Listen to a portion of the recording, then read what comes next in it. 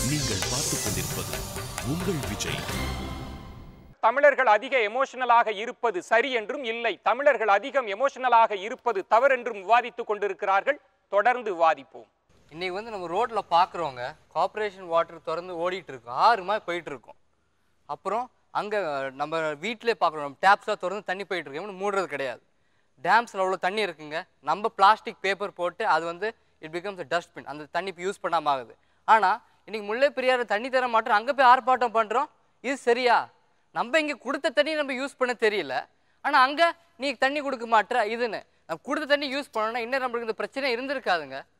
நீங்கள் ஒரு பிரச்சனை நடக்குது அதுக்கு வந்து அதிக உணர்ச்சி பட வேணாம். சாதாரணமாக விட்டுட்டு போயிடலான்றது உங்கள் பார்வையாக இருக்குது நாங்கள் அதுக்கு ஒரு தீர்வை கொண்டாடணும் அப்படின்றதுக்காக போராட ஆரம்பிக்கணும் அப்படின்னு சொல்கிறேன் அவ்வளோதான் நான் சொல்கிறேன் ஸோ போராட ஆரம்பி எப்படி ஆரம்பிப்பீங்க? இந்த பிரச்சனைக்காக ஏதோ ஒரு தலைவன் போராட ஆரம்பிக்கிறானா? அதுக்கு குரல் கொடுக்க நான் ரெடி சரி. சரி ரெடி கவர்மெண்ட் ஒத்துக்க மாட்டுறாங்க அடுத்த ஸ்டெப் உங்க என்னதான் இருக்கும்?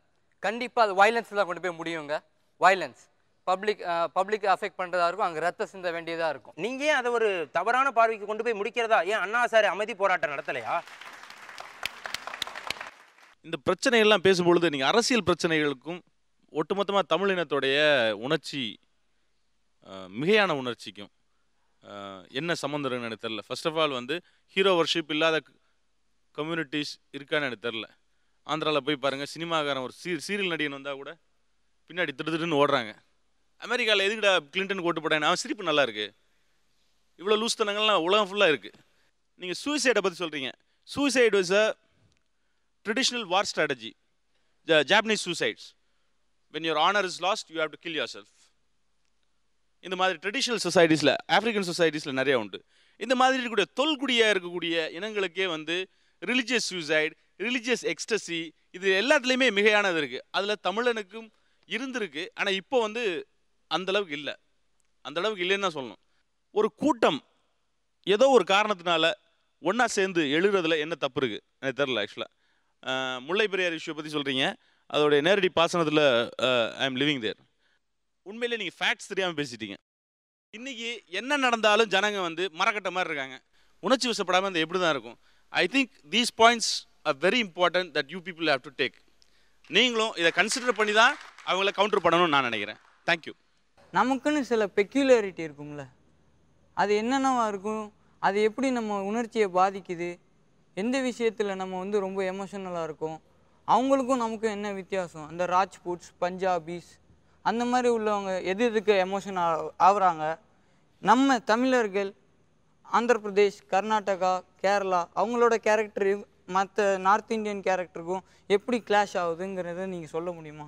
நீங்க தான் சொல்லணும் அதை. நீங்க தான் ஒரு கம்பேரிசன் இருக்குன்றீங்க. We have a peculiarity. Yes we are emotional. அது ஃபூலிஷ்னஸாக இருந்தாலும் எஸ் we are foolish. நாங்க அப்படிதான் இருப்போம். அது எந்த மாதிரி ஃபூலிஷ்னஸ்னு தெரியாமே நீங்கள் ஃபூலிஷாக இருப்பீங்களா?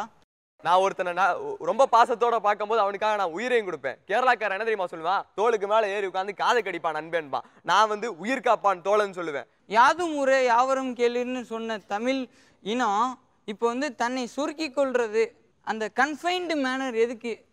அந்த எமோஷன் என்ன என்ன அர்த்தத்தை கன்ஃபைன்டு மேனர் கொண்டு போலங்க. அது நீங்க கன்ஃபைன் பண்ணிக்கிட்டீங்க. அதாவது நான் லாஜிக்கலா யோசிக்கிறேன் லாஜிக்கலா யோசிக்கிறேன்னு சொல்லி ஹிந்திக்காரன் இங்கிலீஷ்காரன் உள்ள விட்டு வெஸ்டர்னைஸ் கல்ச்சரையும் கலந்தனால தான் உங்களுக்கு அந்த கன்ஃபைன் ஆச்சு. தோசை நேத்து வரைக்கும் சட்னியை தொட்டு தின்னுட்டு இருந்தா இன்னைக்கு கொக்கோ கோலா குடிச்சாதான் வாயில போகுன்றான் ஏன்? வெஸ்டர்னைசேஷன் அதுக்கும் நீங்க சொன்னது கன்ஃபைன் பண்ணி கேக்குறீங்க நீங்க சொல்றதுக்கு கன்ஃபைன் ஆகுங்க நான் சொல்றேன். அந்த கூற்றுக்கான யாதும் ஊரே யாவரும் கேள்வி அது இருக்காங்க ஒரு சரியான. விளக்கம் கொடுங்க. அது ஒரு கூற்றுங்க நீங்க அந்த அதுக்கு விளக்கம். கொடுங்கங்க. ஆமா ஒரு கடைக்கு போறேன். நான் போன உடனே mister Philip can please offer நான் அது ஐ டோன்ட் டூ தட் நான் போய் அண்ணே அந்த பாயிண்ட் என்ன? அண்ணே ரஸ்னா பாயிண்ட் என்ன? அந்த அண்ணா எங்க இருந்து வந்துச்சு? கூட பிறந்தானா? இல்ல. அவன் யாரோ ஒரு மனுஷன். யாது முறை யாவனும் கேளுன்னு சொன்னா தம்பிங்களா அதாவது நீங்க நல்லா ஆரம்பிச்சு எவ்வளவு நல்லா ஆரம்பிக்கிறீங்களோ அதே வேகத்துல கீழே வந்துறீங்க. ஏன் பண்றீங்க? மொழி உணர்வு சரியா தப்பான்னு கேட்டார். அவர் கேட்கலங்க அந்த கேள்விய. யாதும் முறை யாவரும் கேளுன்னு சொல்றாரு. அதை நீங்க என்ன சொல்றீங்கன்னு சும்மா ஒரு பரவலா ஒரு அதுக்கு நீங்க. என்ன பதில் சொல்லியிருக்கலாம்னா அது எழுதுனது யாருன்னு கேட்டிருக்கலாம். யார் கேட்டது? கணியன்? பூங்குன்றன் பூங்குண்டனார் கணியன். என்பது அவருடைய தொழில் சார்ந்த ஒரு அடையாளம். பூங்குண்டன் என்பது அவருடைய ஊர் சார்ந்த அடையாளம். ஆக எல்லாம் நம்முடைய ஊர் தான் எல்லாரும் நம்முடைய உறவினர்கள் தான் என்று சொல்லவருக்கே தன்னை வெளிப்படுத்துறதுக்கு ஒரு ஊரும் ஒரு பேரும் தேவைப்பட்டு தேவைப்பட்டிருக்கு இல்லைங்களா? ஒரு அடையாளம் தேவைப்படுது இல்லைங்க? அப்படி நீங்கள் பதில் சொன்னால் நல்லா இருக்கும் அதுக்கு இவ்வளோ உணர்ச்சி வசப்பட வேண்டிய அவசியம் இல்லைங்கிற. பேனலிஸ்ட் இந்த ரெண்டு கல்லூரியுமே இந்த விவாதத்துல சில இடங்கள்ல ரொம்ப பெரிதான கருத்துக்களை வச்சிருக்காங்க. சில இடங்கள்ல ரொம்ப சிறிதான கருத்துக்களை தான் வச்சிருக்காங்க. நீங்க எந்த இடத்தில் முரண்படுகிறீர்கள்? எந்த கல்லூரியில் யாரோடு நீங்க கேள்வி கேட்க விரும்புகிறீர்கள்? நீங்க கேட்கலாம். எல்லா சமூகங்கள்லையும் இருக்கக்கூடிய ஒரே மாதிரியான உணர்ச்சிகள்லேருந்து எந்த விதத்தில் தமிழன் மாறுபட்டிருக்கான் அப்படிங்கிறத ஒன்று கொஞ்சம் ஹைலைட் பண்ணிருக்கலாம். அப் அப்படிலாம் இருக்குது இப்போ உதாரணத்துக்கு தமிழன் முன்னோக்கி போகணும்னா உணர்ச்சி வசப்படணுமா? இல்லை படாமல் இருக்கணுமா? இப்படி உணர்ச்சி வசப்படாமல் இருந்தால் என்ன ஆகும் உணர்ச்சி வசப்பட்டால் என்ன ஆகும்னு கொஞ்சம் சொல்லுங்களேன்.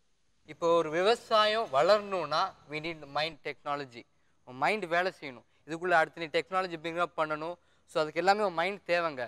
ஸோ அதனால நீ அதிக இமோஷன் பட்டு நீ வந்து ஓவர் ஹாப்பினஸ் எதுவுமே நம்ம ஓவராக போச்சுன்னா அது வந்து நம்மளுக்கு பிரச்சனையாக தாங்க முடியும். ஸோ இப்போ எதுவுமே நீங்கள் சந்தோஷமும் அதிகமாக எடுத்தாலும் கோபமும் அதிகமாக எடுத்தாலும் அதுக்கு ஒரு தீர்வு உங்களுக்கு நிரந்தர தீர்வு கிடைக்காது. பட் இதே இது நீங்கள் உங்கள் உணர்வை கட்டுப்படுத்தி அதுக்கு ஒரு சரியான விஷன் அதுக்கு ஒரு planning constructive way of planning இருந்துச்சுன்னா கண்டிப்பாக இந்த விவசாயத்தை இன்னும் முன்னேற்றம் கொண்டு வரலாம் தமிழ்நாட்டில். இந்த இந்த இந்த பிளானிங் இந்த திட்டமிடுதலை யார் செய்யணும்? First thing to provide is education Tamil Nadu வந்து ஃபாதி பாதி ஃபார்மர்ஸ் வந்து அவங்களுக்கு வந்து தே அன்எஜுகேட்டட் தட்ஸ் வை இன்னும் அந்த ஃபார்மிங் இண்டஸ்ட்ரியில் இருக்காங்க. பிகாஸ் அவங்களால மீண்டு இண்டஸ்ட்ரியில் வர முடியல. பட் அதனால் குறை சொல்ல because agriculture is backbone of India and தமிழ்நாட்டில் ஒரு one of the backbone கூட. ஸோ அதனால் first thing to be providers கல் uh, கல்வி கொடுக்கணும். கல்வி கொடுத்தா அவங்க அவேர்னஸ் கிடைக்கும்போது அவங்களே they know to prepare the plans அந்த constructive way to develop agriculture in Tamil Nadu okay Badri sir இந்த கல்லூரிகிட்ட யார்கிட்ட கேள்வி கேட்கணும்னு ஆசைப்படுறீங்க? ராய் உங்கள்கிட்ட நிறைய நல்ல கருத்துக்கள் இருக்கு. ஆனால் ரொம்ப கோபத்தினால எதிராளியை போய் அடக்கணும்னு பார்க்குறீங்க மாறா உங்களுடைய கருத்தாலேயே நீங்கள் அழகாக அதை செய்ய முடியும். நீங்கள் வந்து உணர்ச்சி இருந்தால்தான் அவன் தமிழன் அப்படிங்கிறது தான் உங்களுடைய கருத்தாக நீங்கள் தொடர்ந்து முன் வச்சுக்கிட்டு இருக்கீங்க. நீங்கள் வந்து ஒரு பெரிய சாதனையை செய்யணும் இந்த இந்த இந்த இந்த மாநிலம் இந்த மக்கள் அப்படின்னா எந்த உணர்ச்சியை அவங்க முன்னுக்கு வச்சு இந்த பெரிய சாதனைகளை செய்ய முடியும்னு நினைக்கிறீங்க? மனிதர்கள்ட்ட ஏகப்பட்ட உணர்ச்சிகள் இருக்குது தமிழர்கள்ட்ட எக்கச்சக்கமான உணர்ச்சிகள் இருக்குது இதில் எந்த எந்த உணர்ச்சி மையப்படுத்தப்பட்டு முன்வைக்கப்படணும்னு நினைக்கிறீங்க? அன்பு அளவில்லாத அன்பு அதை முன்னாடி வைக்கணும்.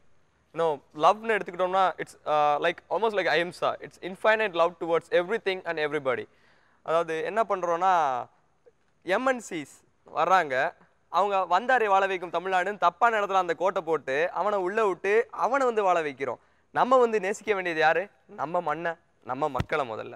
நல்ல நல்ல பாயிண்ட்டுக்கு வரீங்க. இன்னும் கொஞ்சம் மேலே ஏற்றுங்களேன் யாருக்கு அந்த நேசம் தேவை? யார் மேலே தூக்கி விடப்பட வேண்டியவர்கள் அப்படின்னு பார்த்தா மிக ஏழைகள்.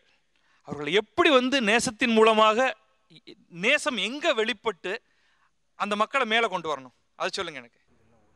நேசம் வந்து ஒவ்வொரு ஸ்டேஜ்லையும் இதாகணும். அதாவது பைபிளில் எடுத்துக்கிட்டிங்கன்னா அன்பு சகலத்தையும் தாங்கும் சகலத்தையும் நம்பும் சகலத்தையும் சகிக்கும் சகலத்தையும் விசுவாசிக்கும் அன்பு ஒரு காலம் ஒழியாது அப்படின்னு இருக்கு நான் வேற எதுவும் கோட் பண்ண விரும்பல. லைக் நேசிச்சாலே அது போதும். நம்ம அடுத்த ஸ்டெப் நம்ம எடுத்த மாதிரி தான் அது.